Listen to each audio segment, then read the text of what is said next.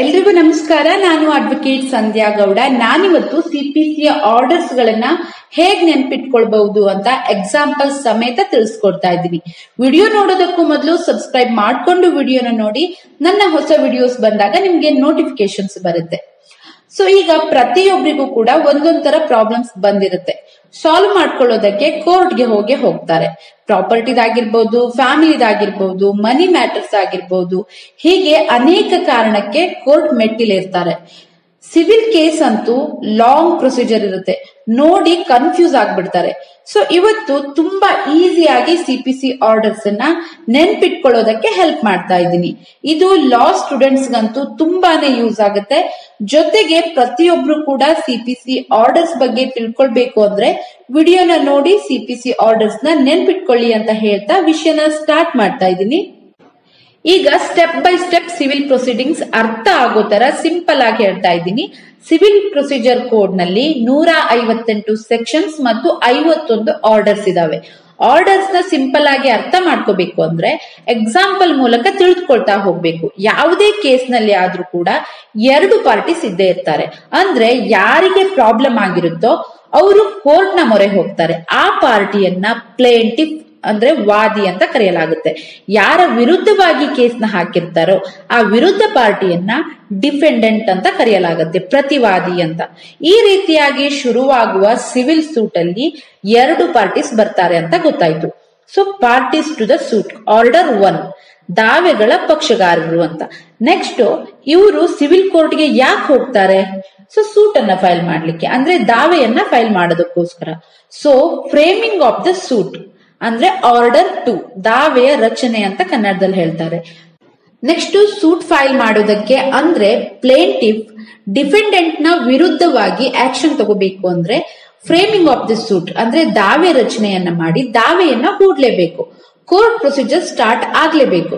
But plaintiff ನೇ ಹೋಗಿ file ಮಾಡಕ್ಕಾಗತ್ತಾ? ಇಲ್ಲ ಅಲ್ವಾ? ಕೇಸ್ ನಡೆಸೋದಕ್ಕೆ ಯಾರು ಬೇಕಾಗ್ತಾರೆ? ವಕೀಲರು ಬೇಕಾಗ್ತಾರೆ. So recognised agents and pleaders order three ಪ್ಲೀಡರ್ಸ್ನ ನೇಮಕ, ಅಂದ್ರೆ ವಕೀಲರ ನೇಮಕ, ವಕೀಲರನ್ನ ಆಯ್ಕೆ ಮಾಡ್ಕೊಳ್ಳೋದಕ್ಕೆ, ಅಂದ್ರೆ ನೇಮಕ ಮಾಡ್ಕೊಳ್ಳೋದಕ್ಕೆ ಆರ್ಡರ್ ತ್ರೀ.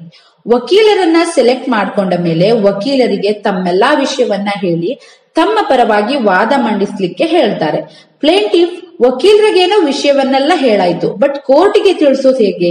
ಪ್ಲೇಂಟ್ ಮೂಲಕ, ಅಂದ್ರೆ ವಾದ ಪತ್ರದ ಮೂಲಕ ಪ್ಲೇಂಟ್ ಅನ್ನ ರೆಡಿ ಮಾಡಿ ಕೋರ್ಟ್ಗೆ ಇನ್ಸ್ಟಿಟ್ಯೂಟ್ ಮಾಡ್ತಾರೆ. ಅಂದ್ರೆ institution of suit order four ದಾವೆಗಳ ಹೂಡಿಕೆ ಅಂತ ಕನ್ನಡದಲ್ಲಿ ಹೇಳ್ತಾರೆ. ಸೂಟ್ ಇನ್ಸ್ಟಿಟ್ಯೂಷನ್ ನಂತರ ಪ್ಲೇಂಟಿಫ್ನ ಕೆಲಸ ಮುಗಿತು. ಬಟ್ ಡಿಫೆಂಡೆಂಟ್ಗೆ ಸೂಟ್ ಫೈಲ್ ಮಾಡಿರೋದು ಗೊತ್ತಿರಲ್ವಲ್ಲ? ಅದಕ್ಕೆ ಕೋರ್ಟ್ ಪ್ಲೇಂಟ್ನ ರಿಸೀವ್ ಮಾಡ್ಕೊಂಡ ಮೇಲೆ ಅದ್ರ ಮೇಲೆ ಡಿಫೆಂಡೆಂಟ್ನ ಹೆಸರೆಲ್ಲ ಹಾಕಿರ್ತಾರಲ್ವಾ, ಆ ಡಿಫೆಂಡೆಂಟ್ಸ್ಗೆ ಸಮನ್ಸ್ ಅನ್ನ ಇಶ್ಯೂ ಮಾಡುತ್ತೆ. ಅದನ್ನೇ issue and service of the summons order five summons ಅನ್ನ ಜಾರಿ ಮಾಡೋದು ಅಂತ. ಸೊ ಡಿಫೆಂಡೆಂಟ್ಗೆ ಸಮನ್ಸ್ ನೋಡಿದ ಮೇಲೆ ಗೊತ್ತಾಗುತ್ತೆ, ತನ್ನ ವಿರುದ್ಧ ಸೂಟ್ ಫೈಲ್ ಮಾಡಿದ್ದಾರೆ ಅಂತ. ನೆಕ್ಸ್ಟ್ ಡಿಫೆಂಡೆಂಟ್ಗೆ ಗೊತ್ತಾದ ಮೇಲೆ ಅವನು ರಿಪ್ಲೈ ಕೂಡ ಕೊಡ್ಬೇಕಲ್ವಾ? ಅದಕ್ಕೆ ರಿಟರ್ನ್ ಸ್ಟೇಟ್ಮೆಂಟ್ ಪ್ರತಿವಾದ ಪತ್ರ ಹಾಕ್ಬೇಕಾಗತ್ತೆ.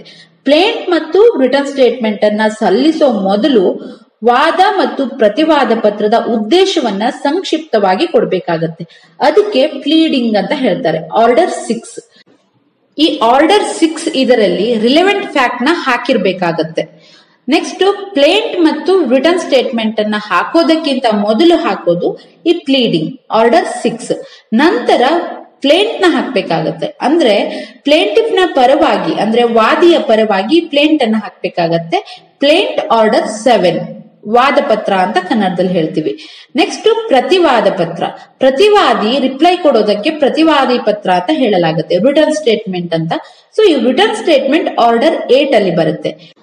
ಈ ಎರಡನ್ನು ಕೋರ್ಟ್ಗೆ ಸಬ್ಮಿಟ್ ಮಾಡಿದ ಮೇಲೆ ಕೋರ್ಟ್ ಡಿಫೆಂಡೆಂಟ್ಗೆ ಸಮನ್ಸ್ ಅನ್ನ ಇಶ್ಯೂ ಮಾಡುವಾಗ ಯಾವ ಡೇಟ್ಗೆ ಡಿಫೆಂಡೆಂಟ್ ಕೋರ್ಟ್ಗೆ ಅಟೆಂಡ್ ಆಗಬೇಕು ಅನ್ನೋದನ್ನ ಹಾಕಿರುತ್ತೆ. ಅದಕ್ಕೆ appearance of parties and consequence of non appearance order nine ಅಂದ್ರೆ ಪಕ್ಷಗಾರರು ಅಟೆಂಡ್ ಆದ್ರೆ ಮತ್ತು ಅಟೆಂಡ್ ಆಗದೆ ಇದ್ರೆ ಏನ್ ಪರಿಣಾಮ ಆಗುತ್ತೆ ಅಂತ. ಈಗ ಅಪಿಯರ್ ಆದ ಮೇಲೆ ಪ್ಲೇಂಟ್ ಅಂಡ್ ರಿಟರ್ನ್ ಸ್ಟೇಟ್ಮೆಂಟ್ ಅನ್ನ ನೋಡಿ. ನ್ಯಾಯಾಲಯ ಪಕ್ಷಗಾರರನ್ನ ವಿಚಾರಣೆ ಮಾಡುತ್ತೆ. ಅಂದ್ರೆ examination of parties by the court order ten ಹೀಗೆ next order eleven order twelve order thirteen ವರೆಗೂ ಕೂಡ ಎಕ್ಸಾಮಿನೇಷನ್ ಮುಂದುವರಿಯುತ್ತೆ.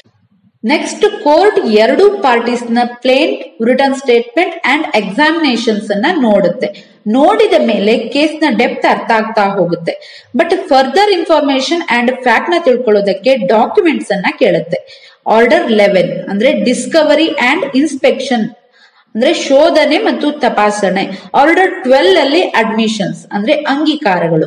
ಆರ್ಡರ್ ತರ್ಟೀನ್ ಅಂದ್ರೆ production and return of documents ದಸ್ತಾವೇಜುಗಳನ್ನ ಹಾಜರುಪಡಿಸೋದು ಮತ್ತೆ ವಾಪಸ್ ತಗೊಳ್ಳೋದು, ಅಂದ್ರೆ ರಿಟರ್ನ್ ತಗೊಳ್ಳೋದು. ನೆಕ್ಸ್ಟ್ ಇದೆಲ್ಲ ಆದಮೇಲೆ ಕೋರ್ಟ್ಗೆ ಕೇಸ್ ಬಗ್ಗೆ ಅರ್ಥ ಆಗಿರುತ್ತೆ.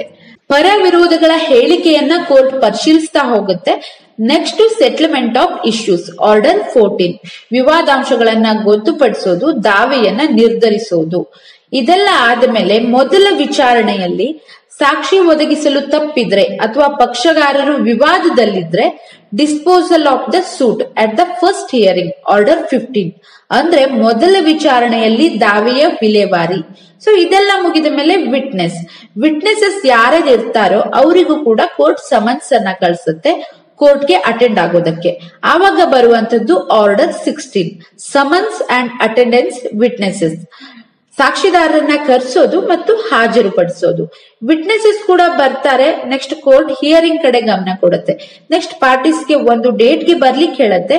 ಅವತ್ತು ಬರ್ದೇ ಇದ್ರೆ ನೆಕ್ಸ್ಟ್ ಡೇಟ್ ಅನ್ನ ಕೊಡುತ್ತೆ. ಆವಾಗ ಬರುವ order seventeen eighteen and nineteen ಈ ಆರ್ಡರ್ಸ್ ಹಿಯರಿಂಗ್ಗೆ ಸಂಬಂಧಿಸಿರುತ್ತೆ. ಅಂದ್ರೆ ಈ ಲಾಂಗ್ ಪ್ರೊಸೀಜರ್ ನಡೆಯುವಾಗ ಡಿಫೆಂಡೆಂಟ್ ಮತ್ತು ಅವರ ಕಡೆ, ಅಂದ್ರೆ ಅವರ ಕಡೆ ವಿಟ್ನೆಸಸ್ ಕೋರ್ಟ್ಗೆ ಬರ್ದೇನೆ ಇದ್ರೆ ಕೋರ್ಟ್ ಹಿಯರಿಂಗ್ನ ಅಡ್ಜರ್ನ್ ಮಾಡುತ್ತೆ. ಆವಾಗ ಬರುವಂತದ್ದು ಆರ್ಡರ್ ಸೆವೆಂಟೀನ್ ಅಡ್ಜರ್ನ್ಮೆಂಟ್ ಅಂದ್ರೆ ಮುಂದೂಡಿಕೆ. ಕೋರ್ಟ್ಗೆ ವಿಟ್ನೆಸ್ ಹಾಜರಾದಾಗ, ಬರ್ದೇ ಇದ್ರೆ ಮುಂದೂಡೋದಾಯ್ತು. ಕೋರ್ಟ್ಗೆ ವಿಟ್ನೆಸ್ ಹಾಜರಾದಾಗ ಅವರಿಗೆ ಎಕ್ಸಾಮಿನೇಷನ್ಸ್ ಅನ್ನ ಮಾಡ್ತಾರೆ. ಆವಾಗ ಬರುವಂತದ್ದು order eighteen hearing of the suit and examinations of the witnesses ದಾವೆಯ ವಿಚಾರಣೆ ಮತ್ತು ಸಾಕ್ಷಿದಾರರ ವಿಚಾರಣೆ, ಅಂದ್ರೆ ಸಾಕ್ಷಿದಾರರ ಪರೀಕ್ಷೆ.